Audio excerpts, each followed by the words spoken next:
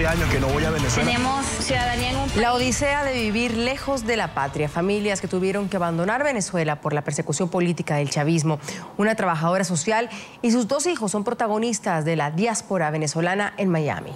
Es la historia de Kerry Arnoni Robaina, una profesional que recibió amenazas, golpes y soportó hasta el secuestro de su hija solo por rehusarse a seguir los ideales revolucionarios en su lugar de trabajo. Esta es su historia.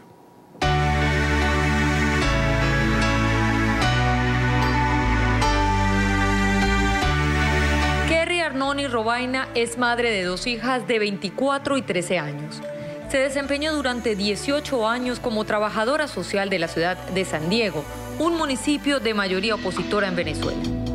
Su área de trabajo estaba enfocada principalmente en atención a casos de niños abusados sexual y psicológicamente en áreas marginales de la ciudad. Gracias a la ayuda de su supervisora, durante años pudo permanecer en su cargo a pesar de no apoyar el chavismo.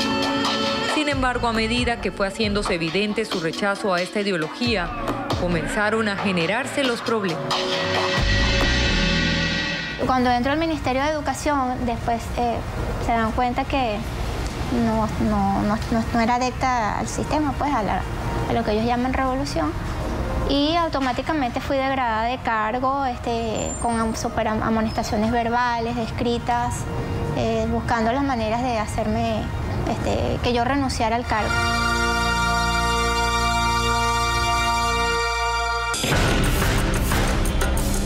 Durante los disturbios de febrero del año pasado, Kerry debió ausentarse por varios días de su trabajo, ya que las barricadas impedían su salida. Fue solo hasta el 23 de marzo que logró regresar y es ahí cuando comienza a ser agredida físicamente. Como consecuencia de las golpizas debió ser extirpado su útero y tuvo graves lesiones en su columna.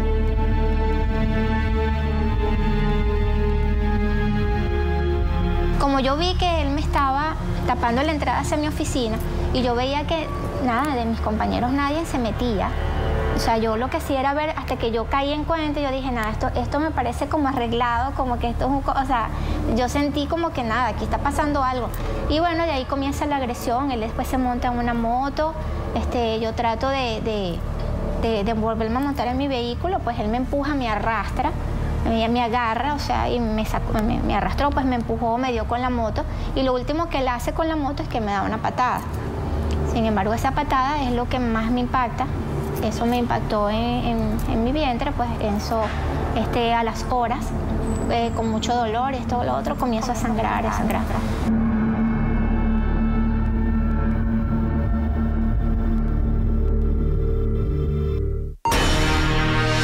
Al reconocer a su agresor, quien insistía en que Kerry era una opositora del gobierno, procedió a denunciarlo es ahí donde comienzan las amenazas que se incrementan al punto de llegar a secuestrar a Viviana, su hija mayor, como presión para que la denuncia fuera removida. De repente me tapan, me, me, duermo, pero sí sentí cuando me montaron un carro.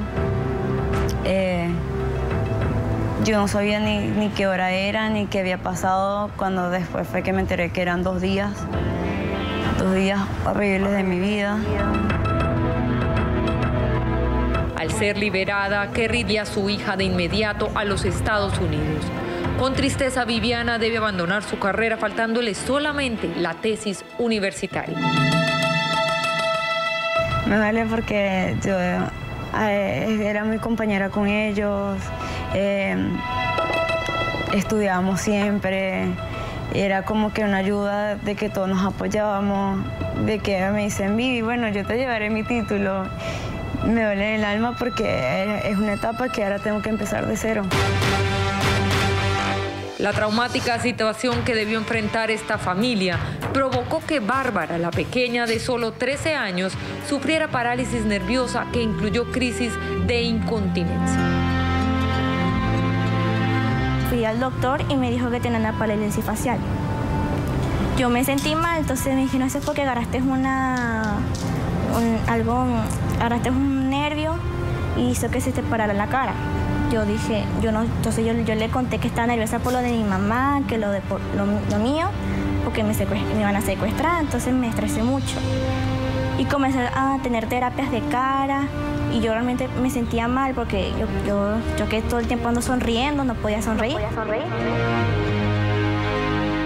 Aunque lejos de su patria y sus seres queridos, la vida les vuelve a dar tímidamente la oportunidad de sonreír. Las niñas extrañan a su padre y a su país, Venezuela.